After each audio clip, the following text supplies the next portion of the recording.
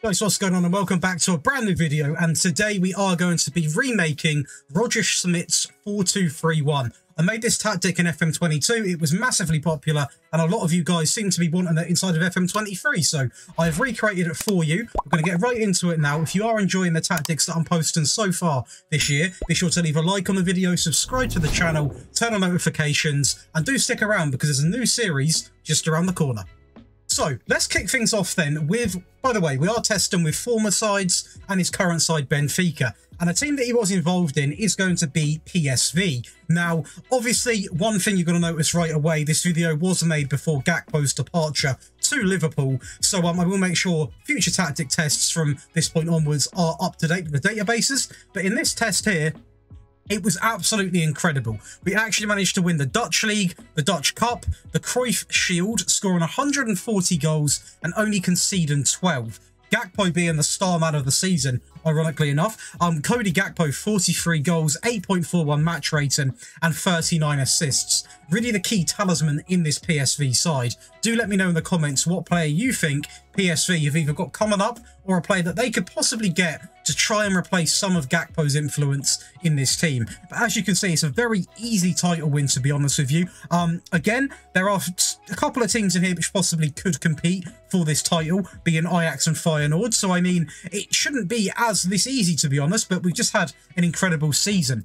Going into the data hub, then Team Attacking, 4.12 goals, which is, to be honest, expected because we have got really good attacking players, especially with the addition or kind of keeping Gakpo when we tested it at the time. And 90% pass completion is a standout stat. It does show a lot, a little bit, well, a lot about this tactic and sort of what it's about and how it performs. In terms of team defending, 0.35, so very defensively solid as well. Again, it could be a mix of, you know, we are one of the better teams in this division, and the only two teams that caused us some issue, um, or could have caused us some issue, would have been Ajax and Feyenoord, and luckily we sort of breezed past both of them when we did play them.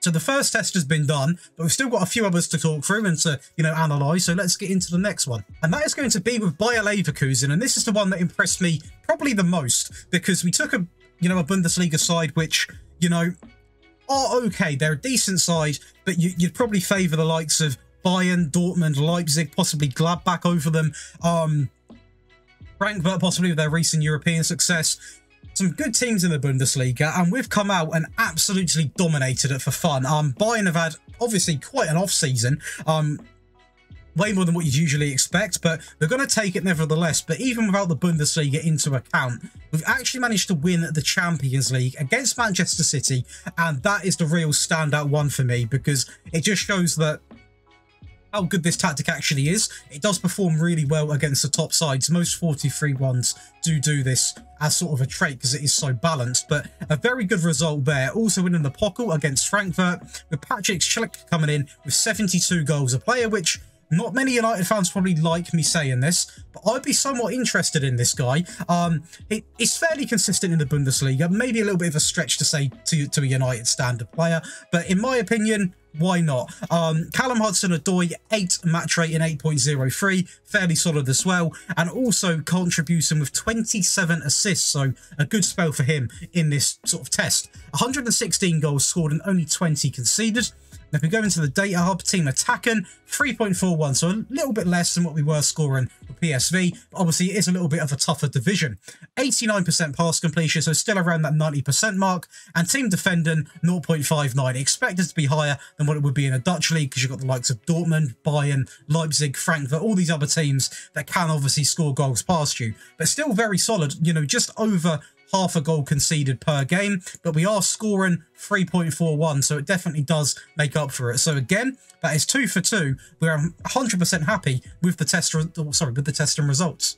We then go over to Salzburg, and this is one which we definitely should be winning. I know, obviously, you know, when I recreate managers' tactics, I don't always test with lesser teams because when I recreate a manager, I always try my best to use teams that he has been associated with because it just makes the tactic come a bit more of a personal touch. When I make my own tactics, I test with a variety of different standards. But this one is going to be Salzburg.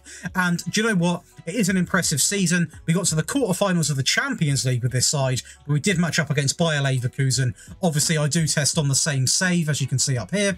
So that is the reason why we got eliminated in that. It would have been interesting to see how far we would have got in this tournament if I was, you know, doing it on separate saves. But Benjamin Sesko, obviously a man that is going to RB Leipzig, super excited about that, scoring 81 goals. It's going to be Okafor with 28 assists, but this division, as expected, was a complete walk in the park. 98 goal difference, 61 points, compared to second place is 40. I mean, there wasn't really much competition at all in this division. We also did win the Austrian FA Cup, again, to be expected in my opinion. 113 goals scored and only 15 conceded. In terms of the data hub then, team attacking, 3.53 and the 90%. They're the two stats we're really paying attention to, um, especially on this sort of testing, because the pass completion should be relatively high because it is designed to be like that. And team defending, 0.47. So very, very impressed with that. Across all three of the tests so far, we've actually, you know, successfully not conceded a goal a game. Um, obviously, that is a statistic based across the whole season. So there are going to be a game here and there where you are going to concede a goal, if not two. But on an average, this is sort of how it breaks it down. By the way, if you guys do want to see me um, feature more stats, so possibly the general performance, any of this stuff, or anything else, do leave right now a comment on what you want to see the stats, because I'll happily include as much or as little as you want to see. But let's hop over to the last test, which is going to be with current side Benfica.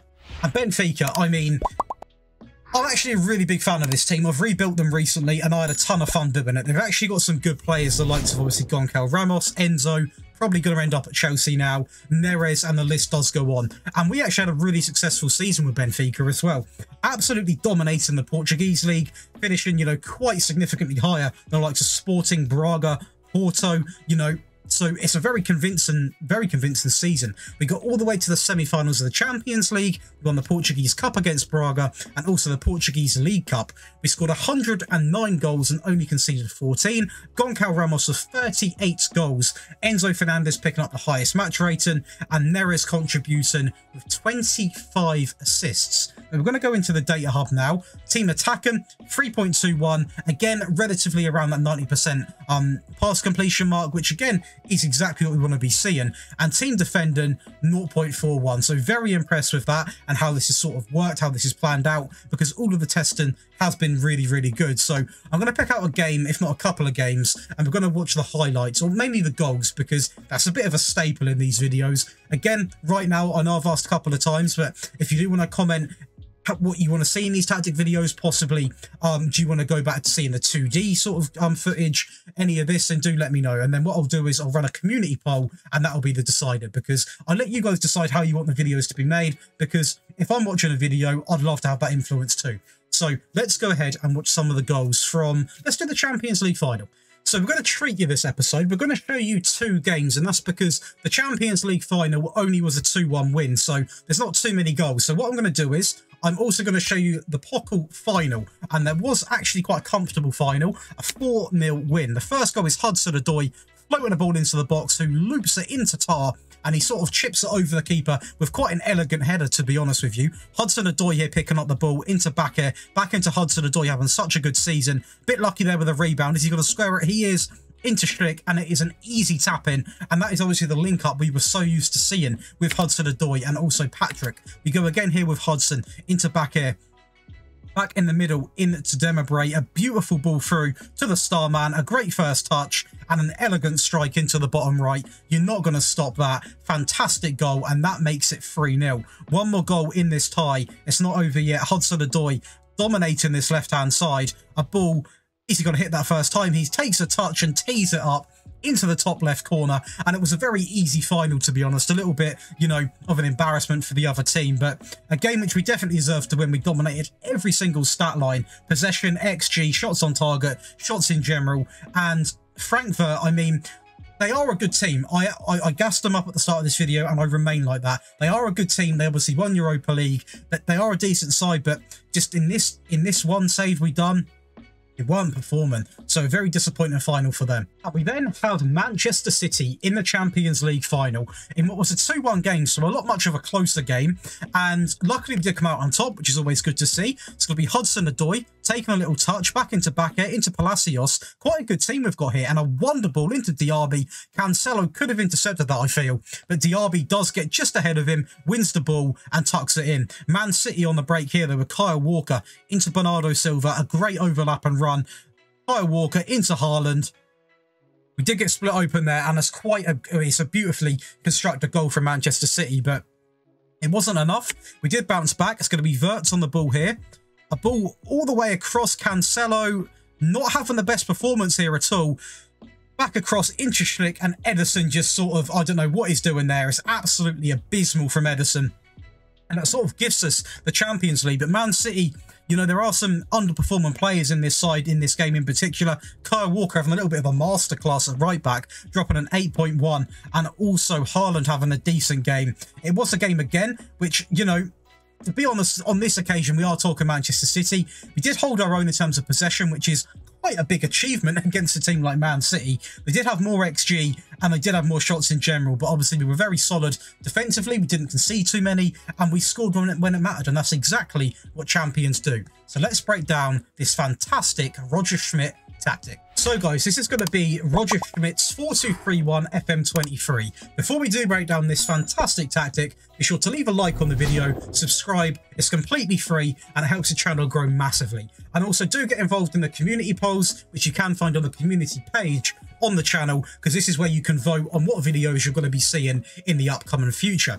But let's get right into this and break it down. So we're going to start things off, obviously, on this side positive mentality. In possession, you want a fairly narrow attack and width, pass into space, play out of defence, shorter on the pass on directness, a slightly higher tempo, be more expressive and mixed crosses. In transition, you want nothing selected here, counter, distribute quickly, distribute to the centre backs and take short goal kicks. Out of possession, you want a standard defensive line, a high press line of engagement, much more often, prevent your goalkeeper distribution and get stuck in. Now, I'm going to quickly say, if you want to 100% replicate Roger Schmidt's tactics, I would probably have this on a higher line. But the thing is, in FM, that's quite a risky approach, in my opinion, especially when holiday simulating.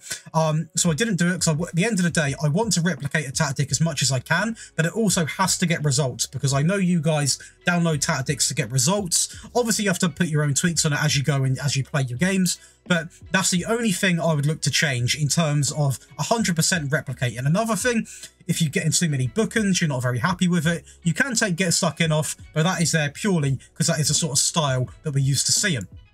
But we're going to kick things off then from, let's go from goalkeeper up the pitch this time. Sweeper keeper on defend, no instructions, completely basic, because the goalkeeper, honestly, he's not a sweeper keeper in the sense he comes out, he collects the loose balls out of the box, touches it with his feet. He's just I want a sweeper keeper, but nothing too extravagant, you know, and that worked really well.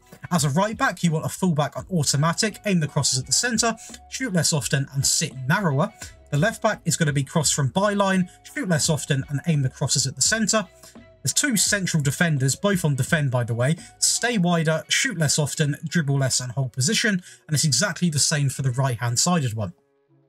In midfield, we've got a deep lying playmaker on support, shoot less often, take more risks and hold position. And we've got a centre mid on automatic, pass it shorter, take more risks, dribble more and hold position. Going over to the left-hand side, we've got an inverted winger on support, take more risks, hold up ball, roam from position, sit narrower, dribble more and cut inside with the ball. And on the right, we've got take more risks, hold up ball, shoot more often, get further forwards, roam from position, sit narrower, tackle harder, dribble more and cut inside with the ball. The last two plays are going to be the advanced playmaker on attack, roam from position, shoot less often, dribble more, and take risks. That leaves us with one more player, which is going to be the pressing forward on attack, take more risks, shoot more often, roam from position, move into channels, close down more, and tackle harder. So this is going to be the Roger Schmidt completely broken down, guys, this tactic. Um, It is quite similar to my FM22 one, just a little tweak here and there. Now, if you guys have copied this click for click, I do appreciate it because it does mean a lot when you guys do stick around to see how I made the tactic and go sort of break it down. But if you want an alternative, you can find this tactic on the FM Scout website, where you literally see the same thumbnail that you see on this video on that website, you can download it from there. But that is going to be it for today, guys. Hope you guys have enjoyed this breakdown. If you have, be sure to leave a like on the video, be sure to subscribe to the channel, and I will see you in the next one.